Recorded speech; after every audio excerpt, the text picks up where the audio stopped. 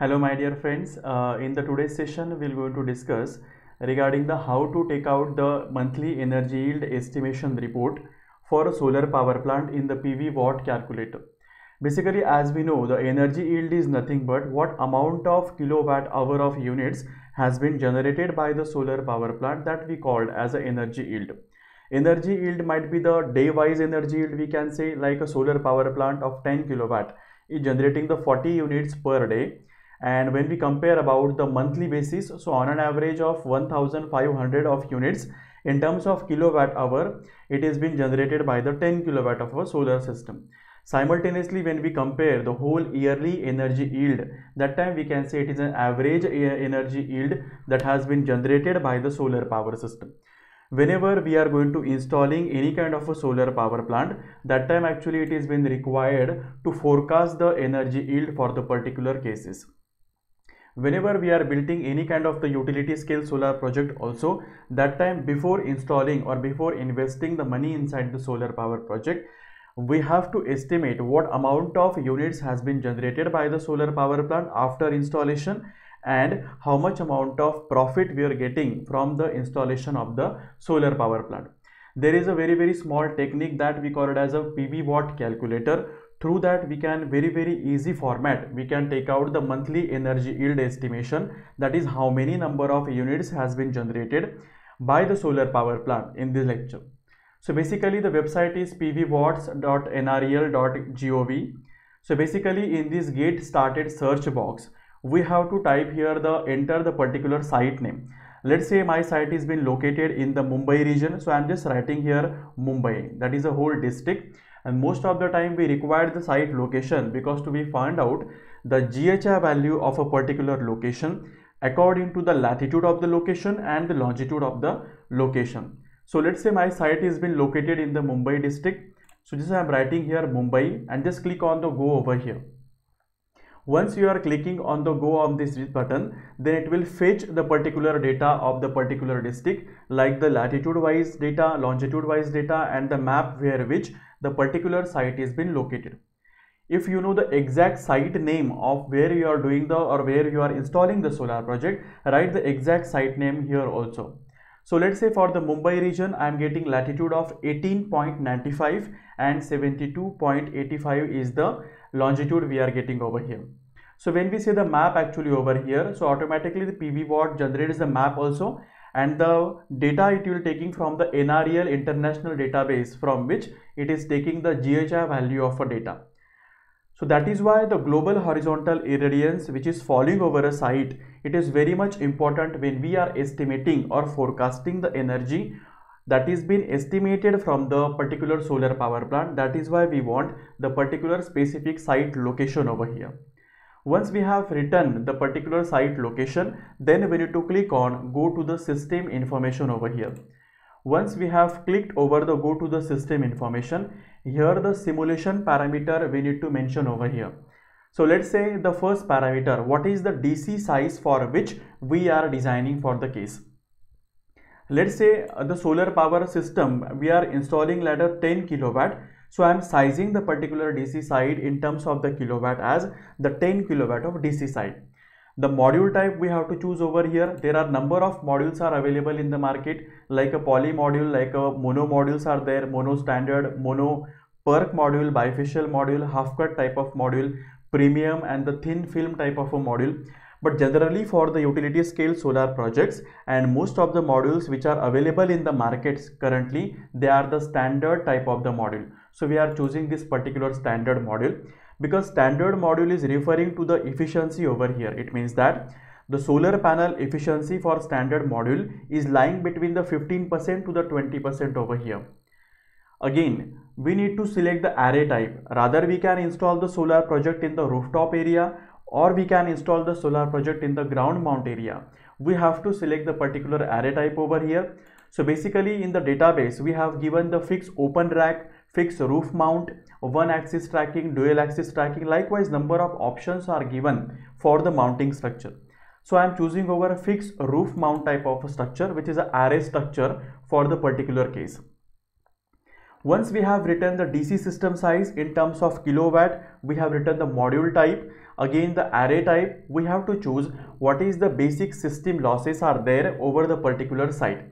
So to calculate the number of system losses in the percentage, here is the loss calculator has been given over here. Just click on this loss calculator.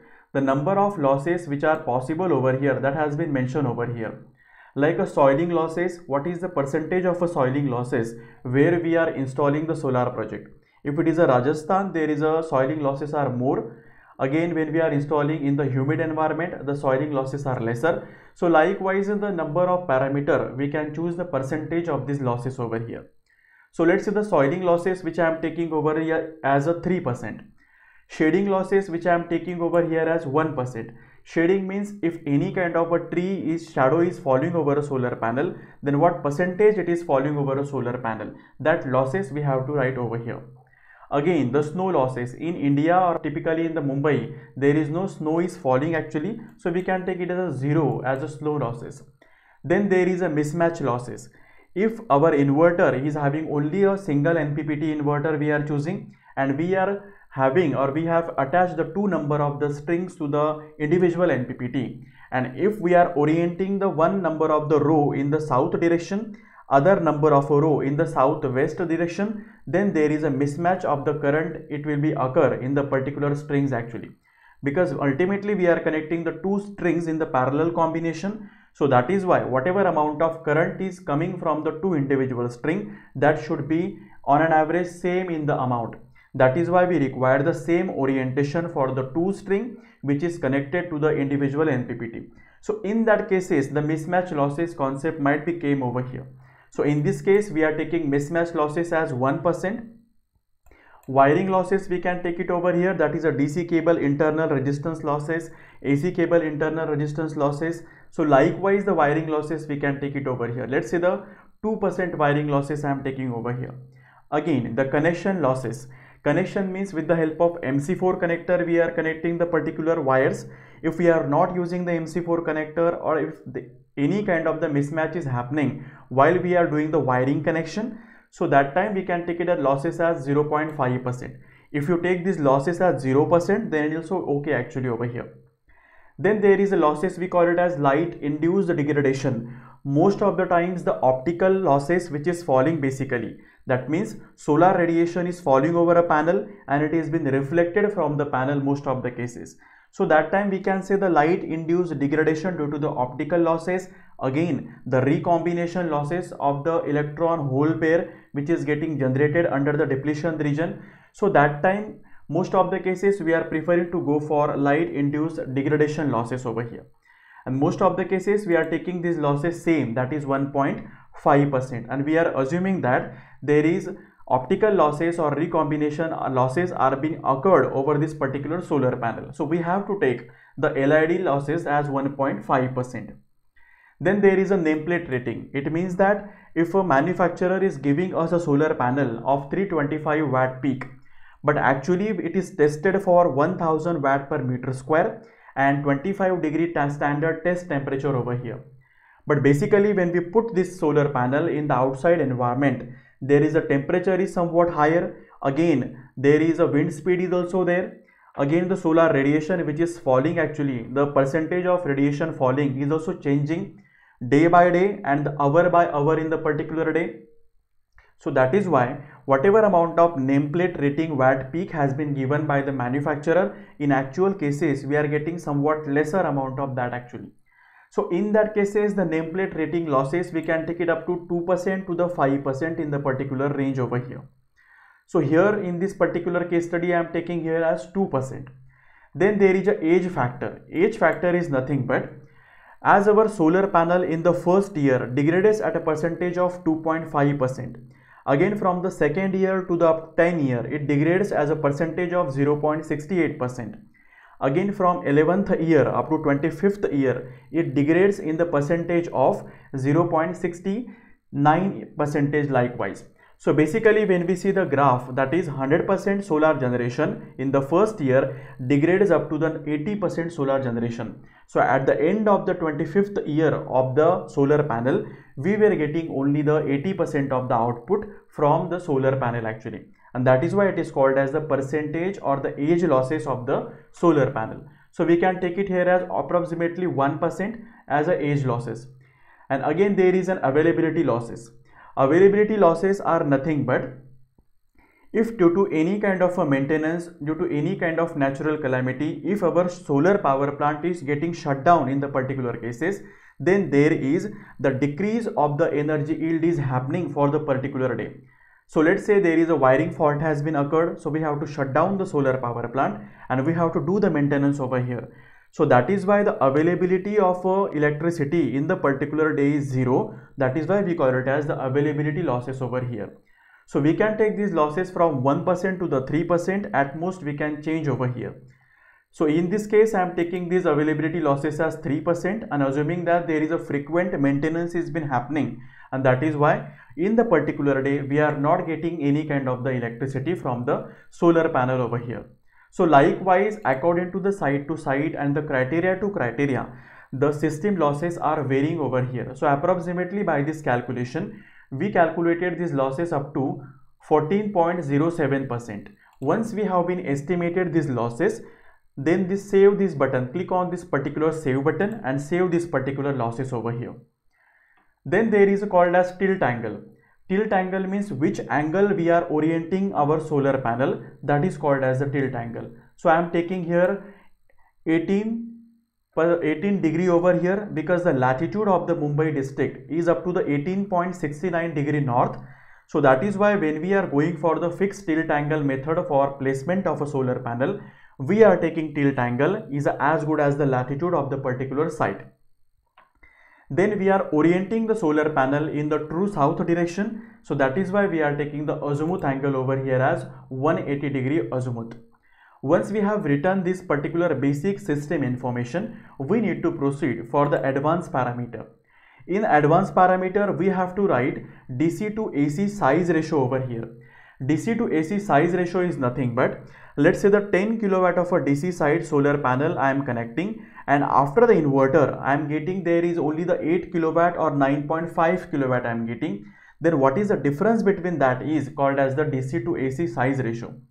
The ultimate ideal value of the DC to AC size ratio is ranging from 1.1 to 1.25 and on an average for the calculation we were taking as 1.2 over here. Again, the third parameter is the inverter efficiency. Whichever inverter you are choosing, just see the specification data sheet and check out what is the basic efficiency has been given by the manufacturer. And ground coverage ratio. Ground coverage ratio is nothing but what is the area of a solar panel that we are choosing and what is the area of the rooftop is been available over here. Basically here we are placing the solar panel keeping in mind that there should be a proper inter-row spacing has been provided so that shadow of the second row should not be fall over the particular first row over here. So the on an average ground coverage area that is area of a panel divided by the whichever area is been available in the interior zone its value is lying between 0.3 to 0.6 actually in the ideal cases. So on an average we can take it here as 0.4 as a ground coverage ratio. Once we have done with this advanced parameter, then we to proceed for the electricity rate over here. If we are installing the solar pa panel in the residential sector that is for the houses or the commercial sector out of which we have to select over here. Again, at which rate the particular tariff rate the utility is giving us the electricity that we have to mention over here. So let's say for the 10 kilowatt of a project, if I am going to be installing in the residential sector, the tariff rate is 9.75 rupees per kilowatt hour. We just convert these rupees into the dollar term which comes as 0.1369 dollar per kilowatt hour which is a current tariff rate per kilowatt hour for the residential sector. So once we have written this tariff rate over here then we have completed the basic simulation parameter which are required to generate the report over here. Once we have done with this particular simulation parameter, we have to click on go to the PV watt result button which has been given over here. Once we are clicking on go to the PV watt result button, it will just display us whatever amount of the AC energy that we are producing in the month wise basis. That is the on an average energy yield what will be there for the 10 kilowatt of a solar project it will estimated over here basically in the first column they are giving the january up to the december month that is the 12 month. Again for the second column there is a solar radiation in terms of kilowatt hour per meter square per day. This radiation parameter varies as we are changing site to site that we are entering in the initial stage while entering in the PV watt calculator. And the third column we are getting what amount of units has been generated in the particular January month in the February month, March month, April month likewise. And what is the average energy has been generated yearly basis which is 15,339 kilowatt hour per year. And what is the electricity bill or how much amount of saving we have doing after creating this much amount of the electricity from the 10 kilowatt of the solar project? So in the January month it will come 190 dollar again in the february month it comes 185 dollar. So likewise we are saving up to 2101 dollar when we compare the tariff rate of the utility grid and whatever amount of electricity that we were generating by using the solar over here.